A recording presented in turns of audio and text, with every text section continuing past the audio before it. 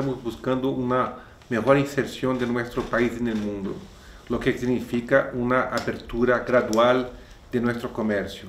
Yo creo que ese es el camino para uh, llegar a una situación de seguridad alimentaria uh, en mi país y en el resto del mundo.